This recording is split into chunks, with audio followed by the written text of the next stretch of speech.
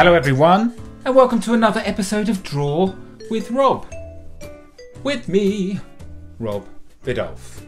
That is a picture of me on the back of the latest Draw with Rob activity book called Monster Madness. Check it out if you haven't seen it yet. Now, I am a children's author and illustrator. You might have seen some of my books before. This was my very first one. It's called Blown Away, about this penguin here who loses his kite on a very windy day. Maybe you've seen. This one, probably, uh, I'm going to say this one's my most popular one. It's called Odd Dog Out. And it's about a sausage dog. Hang on, let me see.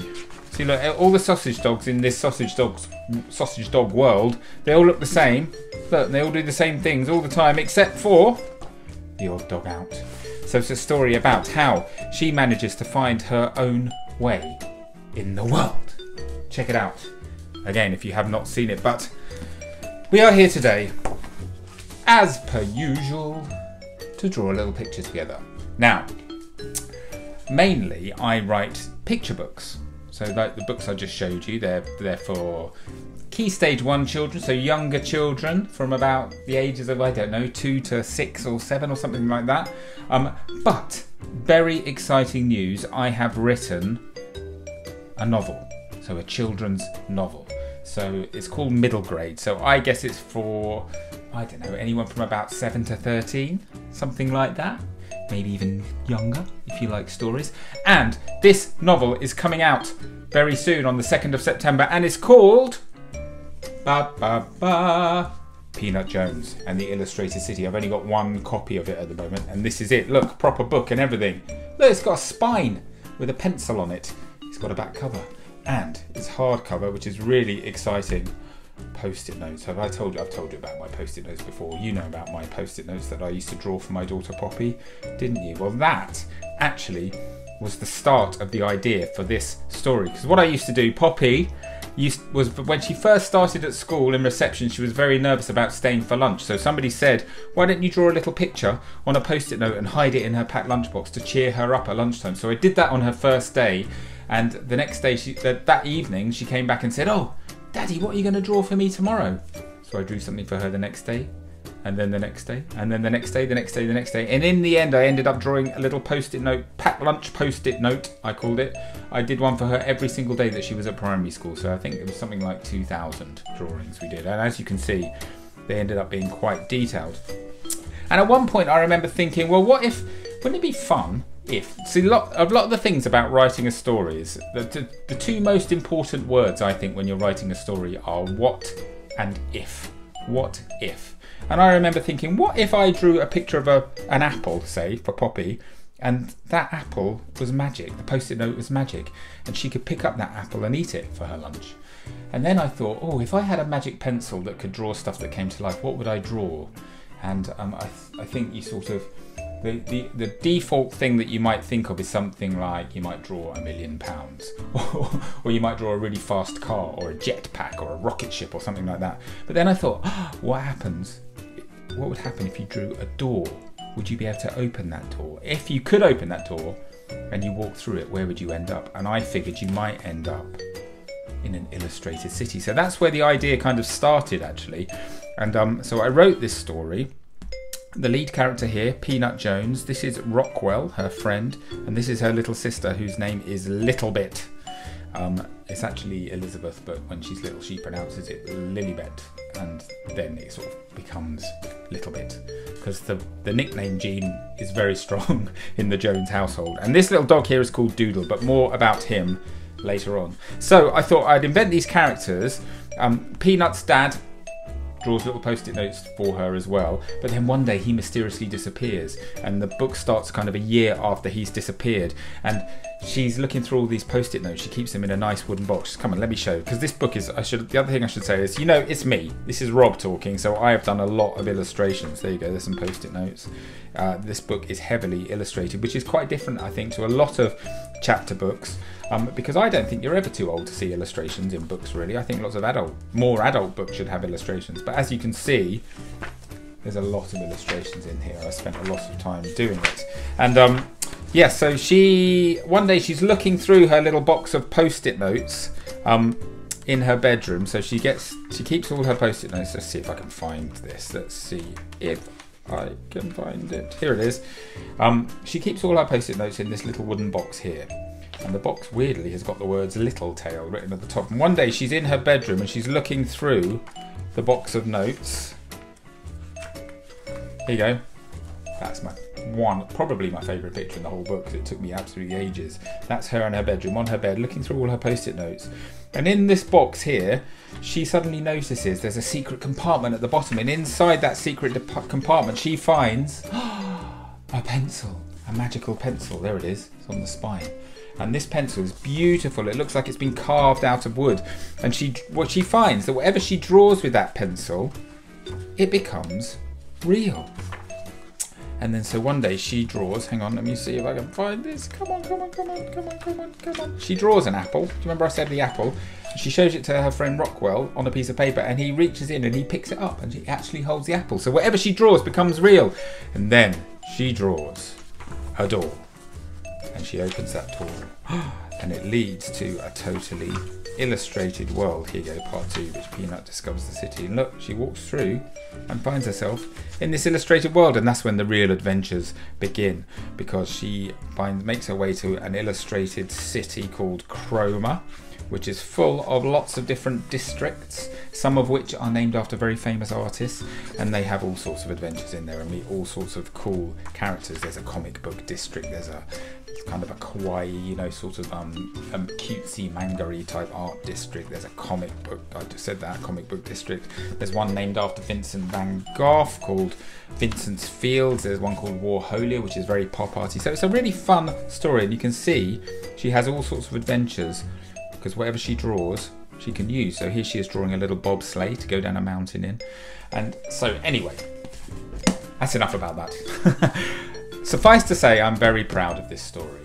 It might be one of the things that I'm most proud of that I've done, and um, and I really can't wait for you all to read it. Because apart from anything else, I'm really pl- proud of the words. I, I, sort of, I don't really consider myself as a writer. Really, I feel like I've, I've got a bit of imposter syndrome about that. So I'm actually really proud that the story, I think, it's really quite I think it's quite good. I know you shouldn't really say that about your own stuff, but I actually do. So I'm really excited for you all to read it. And to celebrate, because it's coming out on the 2nd of September, I thought that today's Draw with Rob episode, I thought I might show you how to draw Peanut herself, if that's all right with you guys. Okay, so what you're to need is a piece of paper and a pen and a pen or a pencil or something to draw with and maybe something to colour with a bit later on just in case you've never done one of these draw with Rob videos before. This is how it works. Lots of people tell me they don't think they're very good at drawing. I say do you know what? Everybody can draw. It's just that some people need a little bit more help with the order that we do the drawing in than others which is where I come in because what I'm going to do is break this drawing down into little bite-sized pieces okay? And um, I'm gonna draw one of those little bite-sized pieces on my piece of paper. Then you can pause the video copy what I draw. Start me up again. I will draw something else. Then you draw. Then I draw. You draw. I draw. You draw. I draw. You draw. I draw, I draw. Blah, blah, blah, and we're gonna end up with something that we're really proud of. At the end. Okay? Got it Let's start then, shall we? So, I want you to start right in the middle of your piece of paper. We are going to draw slightly curved line. Almost straight, but slightly, slightly curved, like that. Sort of going down a bit at each end. Okay? Right. Then, let's go to the right hand end first. I want you to curve, keep curving around, and start heading down to the bottom of your page at a slight angle, like that. Okay, so it's sort of slightly coming in, like that. Then we're going to keep going along the bottom, again in a nice curve until we're level there. Then we're going to curve around, head up our page, again at a very slight angle before turning around and coming in again like that. So we've got a sort of rounded rectangle, slightly narrower at the bottom than it is at the top. Okay, and this is going to be Peanut's head. Okay, so let's draw Peanut's eyes now. She's got very big eyes, and I want you to draw them. Uh, we're going to draw one on each side, obviously, but sort of quite low down in the face, if you see what I mean. So we're going to draw one. Let's draw them about this sort of size. Like that, but sort of in the bottom half. of the head. You see what I mean? Like that. And then let's draw one. We'll leave a bit, a couple of centimetres in between and then draw the other one over here. Like that. Okay? Mine are not exactly the same size, but that's all right. What do I say when you make a mistake? We just keep on going, don't we? And it's often those imperfections that give our drawing its character. And anyway, nobody has got eyes exactly the same size and shape. Everyone's, each eye is slightly different, isn't it? Okay, let's give her a pupil. Right in the middle of the eye, we're just going to draw a small circle which we're going to colour in. Like that. And look, Peanut. She's suddenly awake. Nose time, I think. So in the centre of those two eyes, sort of level with the pupils, I want you to draw coming from the middle. So get find the midpoint, and coming from the middle, we're going to draw a sort of backward C shape, quite small, like that. And that's going to be the tip of Peanut's nose. And then from the top of that shape, we're just going to draw a little vertical line, like that. Nice easy way to draw a nose. You know me, I always look for the easy route if possible. Let's give her a little mouth. The mouth is going to come slightly lower down, about here, and it's just going to be going up a bit higher on one side than the other. So she's got a slightly lopsided smile. Okay. Right, there's going to be a few other little details we add to her face, like eyelashes and eyebrows, but I'm going to add them after I've coloured in. Because sometimes when I use my black brush pen and I do these things that I then have to colour over, it can smudge the pen a bit. So I'd rather do the drawing and then add the, that detail afterwards with the pen on top of the colour, if you see what I mean, so then it doesn't smudge it. So we'll come back to that a bit later, but in the meantime we can do the ears. So the ears, I want you to imagine all of her features are kind of in a line like that across the centre of her face. So the ears are going to be lined up with the pupils and they're going to come out and go in like that at the side of her face. So about that sort of size. The other one exactly the same but over here like that. I'm just going to switch to a slightly thinner pen because do you know how I like to do my ear swirly bits, don't you? Do you know what? Actually, I'm going to leave those to the end. I'll tell you what, we'll come back at the end and we'll add all these details in afterwards. For the same reason, I don't want to smudge it when I do my colouring. Okay? So does that sound all right to you? Do you mind? Thank you. In the meantime, we can add some little hair bands. Now, this is going to look strange at the beginning, but don't worry, it will make sense soon. What I want you to do is coming out the middle of the top of her head, we're going to come up, we're going to go along, and we're going to go down, like that. Okay? Looks strange, doesn't it? And then just above that, exactly the same length, we're going to do a sausage shape, like that. Okay? And they are going to be peanuts, hair bands. In fact, we can colour them in. One, two. So two sort of little black sausages sitting in the middle of her head at the top. Because Peanut pulls all of her hair up. Hang on, let me show you here. Can you see her here? She pulls it all up into like a top knot. A big, lovely red top knot. And um, so these are going to be the hair bands that hold her hair up. Okay. Now, I think that's where we're going to leave the initial kind of inking. So usually when we do these Draw with Rob videos, we draw the whole outline, don't we? Right at the beginning, and then we do the colouring, and that's it, finished. But this time it's a little bit more, there's a bit more toing and froing. We do some of the outline, then we do some of the colouring, and then we're going to come back and do the rest of the outline at the end, okay? So I'm going to go away now into super speed mode to colour in what I can, okay? So her face, I'm to add some hair to the top of her head like that. But then I'm gonna, I'm not gonna do her top knot yet because we're gonna come back and do that because that's my favorite bit. So that's gonna be the bit we do after we've done this bit of colouring in. And then after we've done the top knot, we'll add the final detail, okay? So it's a bit more, it's sort of in three stages, this drawing. Stop talking, Rob, start colouring. Okay, I'll see you back here in 20 seconds or so. Ready? Three, two, one, let's go.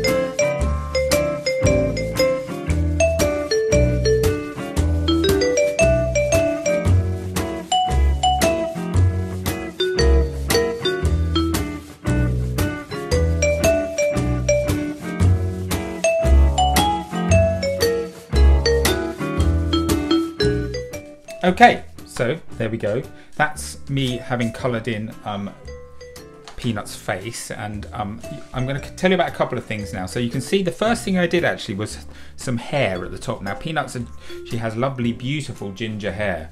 So I've added lots of sort of oranges and golds and yellows and some reds and even some sort of burgundies around here because you'll notice that I've decided uh, that my light is going to be coming in from the left hand side. And whenever you're colouring something, if you don't want it just to be flat, it's always good to have a, quite a nice directional light. So my face, sorry, Peanut's face is is um much lighter on this side than it is on this side. So I've added some sort of dark shading here, and um I've shaded the pinks of her face and the peaches of her face with little bits of purple and red and some bits of blue and all sorts of things, just to make it look a little bit kind of more three-dimensional. And I've done the same with her hair so it goes from lighter orange here to sort of darker reds and purples over here. And I've added lots of vertical lines in there to make it look like it's kind of pulled back up into this top knot which is what we're going to draw in a minute so that's why I've done that. I've also added a little bit of blue sort of in these areas of the whites of our eyes again to make it look slightly more three-dimensional. Now, do you remember I said I was going to add some more detail to the face now? So first of all, can you see where I've coloured in? It's sort of gone, it's sort of um, dulled the blacks down a little bit. So sometimes it's worth but can you, I don't know if you can pick this up, but you can see how my ink is sort of sitting on top of the waxy coloured pencil. So sometimes the ink doesn't want to sort of soak into the paper when there's pencil on top of it. So what I'm going to do is the insides of my ears. Do you remember how I do the insides of the ears? I always do that swirly thing, don't I? So what you do, you come down, up, down again, and around. There we go. A nice inside of swirly ear thing there. We're going to do a mirror image of that on this side. So down and around, like that. There we go and you can see it's much easier for me to do that on top of the pencil than it would be for me to have to colour around that. So sometimes with drawing, again, do you remember I said earlier it's all about the order? You need to do a little bit of forward planning, you see. So now, again with the eyelashes, we're going to add one, two, three, four, five eyelashes coming out of the right hand side of that eye.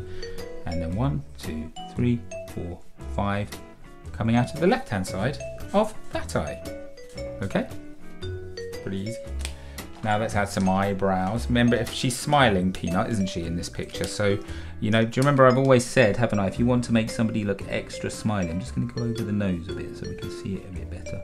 If you want to make uh, someone look extra smiley, the key is the eyebrows. So we're going to add some eyebrows quite a long way above the eyes. So can you see there?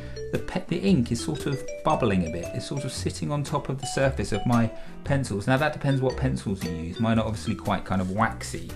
And what that means is that ink is going to stay wetter for much longer. So you've got to be very, very careful not to smudge it with your hand. Because if I was to smudge that now, it would go all over the place. But there we go. You get the idea. And now the last thing to do is Peanut has got lovely rosy cheeks. So I'm going to take a bit of an orangey red pencil here and I'm just going to add just a little patch of rosiness there under the eye. We'll do the same here, but can you see you can't really see it there? And that's because, remember I said I've done that sort of slightly darker colour on that side of the face. So I'm going to take a much darker red and I'm going to add my rosy cheek with a darker red like that. Then you can sort of go over the top of that to match them out a little bit. So with art, it's all, I mean, with colour and especially, it's all about adding little bits and pieces here and there. And with these pencils as well, you can go over it with the light stuff just to blend it in a little bit so it doesn't stick out too much. So there we go. Uh, some lovely little um, rosy cheeks. She also has beautiful freckles, Peanut. So I'm going to add, with this sort of purpley colour, I'm going to add little patches of freckles right over the top of those rosy cheeks. So she's going to have some there, some over there. Again, I'm going to have to go over these ones with darker, a darker colour so that we can see them a bit better. It's fine on the lighter, the lighter skin colour there, but when it comes to the rosy cheek, which is darker, I'm going to need to go darker. Sometimes you just got to play around with the colour and see what works. In this case, nothing seems to be uh, showing up. Let's add a little bit of little bits of freckle. Okay, and she's also got some beautiful ones here on her forehead. There we go. Just a little scattering, spattering of beautiful freckles on her forehead. Yeah, that's nice. I'm going to add just a bit more of the orange in to her freckles. So it sort of ties. Another thing that's nice with the drawing is if your colours across the drawing all sort of match up. So I'm adding the same colour that I used for her hair in her freckles a little bit. Just like that. We'll add a couple of the lighter ones down here too. And it just sort of makes your whole drawing hang together nicely. There we go. That's pretty good. I'm pretty pleased with that. Right, a bit of fun now. You ready for this? So, do you remember she's got all her hair piled up into this top knot, which is what those two hair bands are there. So we now have to draw the top knot. Now her top knot is basically the same sort of size as her head, it's slightly rounder. So what we're gonna do, I've got my big thick pencil here. I'm just gonna go, this is fun.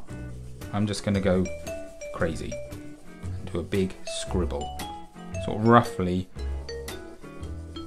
in the right shape. Right to the top of my page. Like that. Oh, fun. Such fun. Let's add a little swirly bit coming out there and there. Okay, now obviously I'm going to have to build up the colour here. I'll add a bit of this sort of reddish colour too.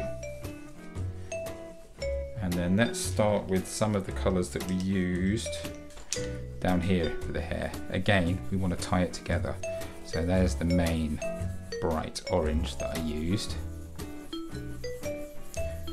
And I'm just going to build this colour up. I'm going to add a little bit as well in between there and maybe a slightly more solid bit there where the main body of the hair would be.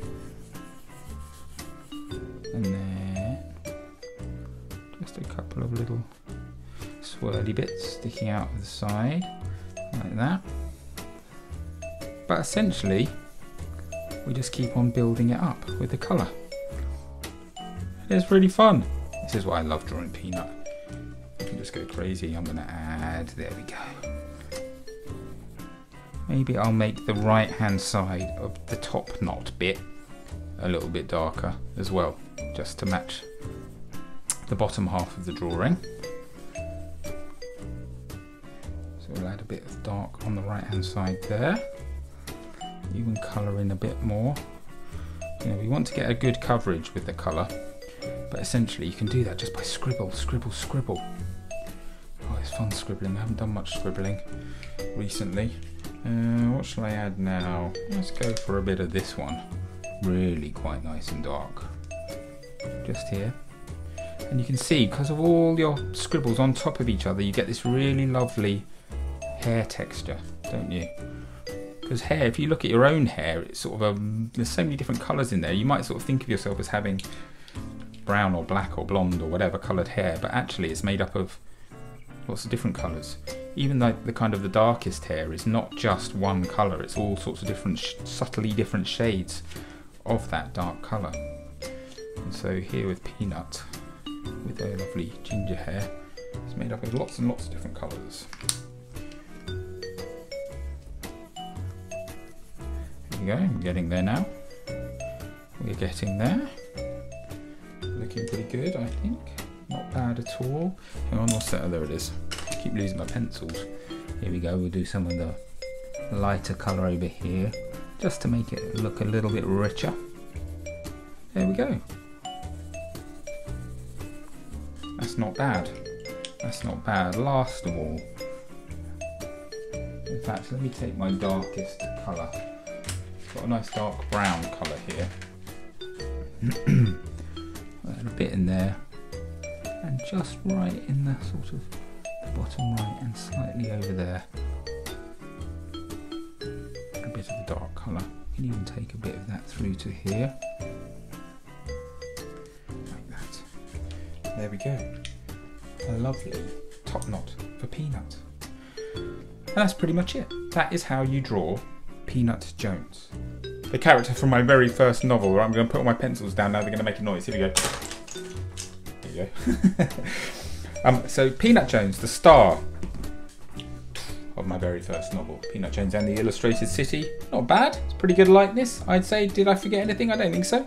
We got it all in there. So don't forget, a very important part of your drawing. We need to sign it. So I'm going to sign it here. I'm going to do my full name this time. There we go. Rob Biddulph. We'll put the date, the year, 2021. So sign your drawings. Now I really, really, really want to see all of your Peanut Jones drawings. So the best thing for you to do is to take a picture of your drawing or get your grown-up to take a picture of your drawing. And then if you post it on social media using the hashtag draw with Rob, that way I will get to see it. Or if you're watching on Facebook, you can comment underneath with a with a picture of your drawing and I'll get to see that too. And as I said, I cannot wait to see your drawings. Um, should I tell you why she's called Peanut? I don't think I've told you that yet. Because Peanut, so as I said earlier, her sister's called Little Bit, her name is Peanut, so obviously, obviously nicknames are very popular in the Jones family. The reason she's called Peanut, her real name is actually Pernilla. So her name is Pernilla Ann Jones, but ever since she was a little tiny, tiny, tiny little thing in her mum's tummy, her mum and dad referred to her as Peanut because she was the size of a peanut back then.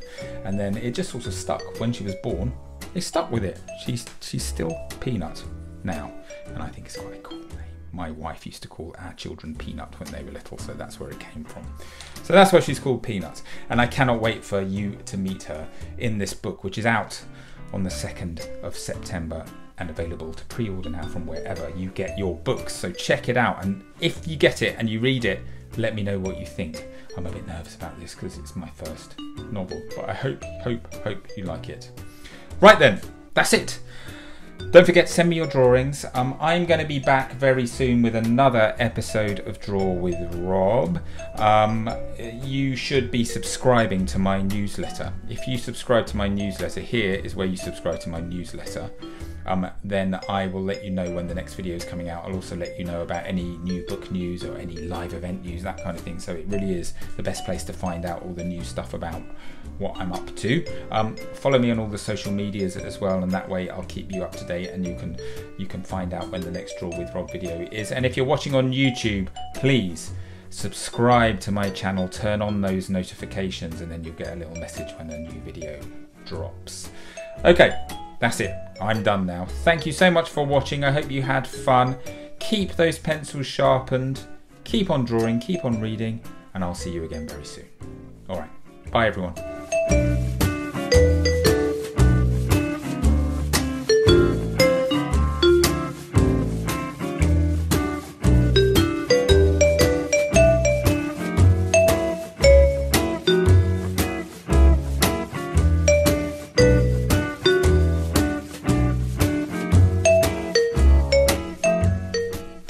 Just when you thought you got rid of me. Here I am again, popping up at the end of your video, and I'm here to tell you all about the brand new Draw with Rob activity book. It's called Draw with Rob Monster Madness. And I think you're really going to like it. I mean, of course, inside you are going to meet him, her, don't forget about him, and of course, my favourite, her. So listen, this book is full of puzzles.